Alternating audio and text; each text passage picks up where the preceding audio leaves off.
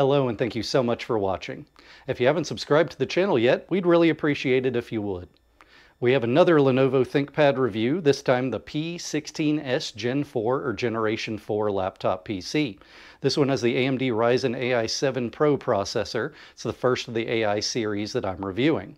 It's of course also available with an Intel Core Ultra series. We'll go over the specs, the outside, what's inside, and the benchmarks too. Let's get started.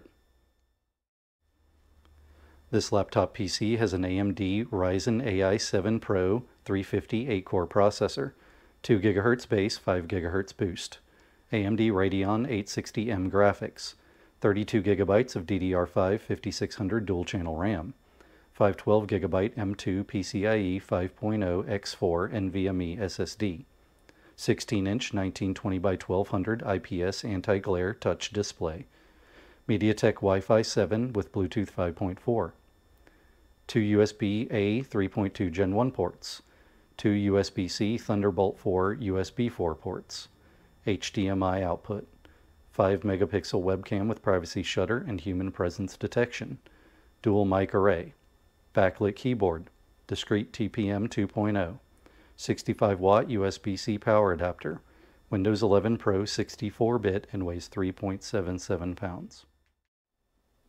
The top of the PC is textured black plastic. The webcam does bump out just past the body, but they did a nice job rounding this edge so it shouldn't catch on anything. There is a privacy shutter, so if it's red and there's a red dot in the middle, then it is disabled and covered. There's dual microphones, one on either side of the webcam.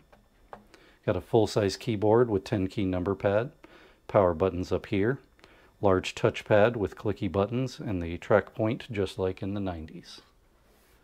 On the left side we have two USB Type-Cs that do power delivery 3.0, data transfer, and DisplayPort which can be used for docking stations too.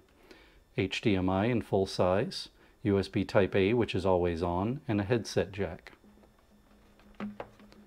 On the right side we have a collapsible gigabit Ethernet, USB Type-A, and a Kensington lock location. To open up the laptop, you have to back out all these screw locations. There's pop clips on either side and across the back. Then you have to lift from the back to slide out the front lip because the way they did these catches on the front, you will break them if you pry from the front.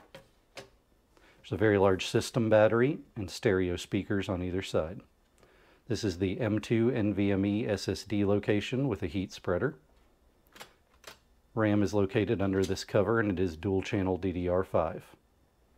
The processor is underneath this which has a heat pipe to the heat sink and the fan assembly. Wi-Fi card is soldered on and you can see the antennas. This would be a wide area wireless network card which would be cellular and is not populated from the factory and there aren't antennas present for it either. The overall PassMark score for this PC is 6655, which is the 72nd percentile. CPU mark is 26830, the 83rd percentile. 2D mark is 981, the 81st percentile, and 3D mark is 5437, the 38th percentile.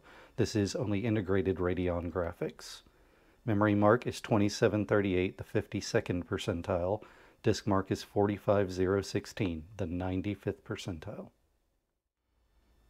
It's no secret I love the ThinkPads from Lenovo, but this P series is a mobile workstation, and I think it's a decent step up from the E series, which are the more budget conscious Lenovo's, but this one is actually pretty budget friendly too. I often pair these with a docking station, so when you're at your desk, you can use it like a desktop with a couple of monitors, external keyboard and mouse, and then unplug it to take it with you. I'll include a link in the description to purchase the laptop and that docking station, and if you can use those links, it really helps support the channel.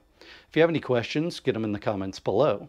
Please like, share, and subscribe, and if there's anything you want to add I didn't include, get that in the comments too. I'm always glad to learn something new. Thanks.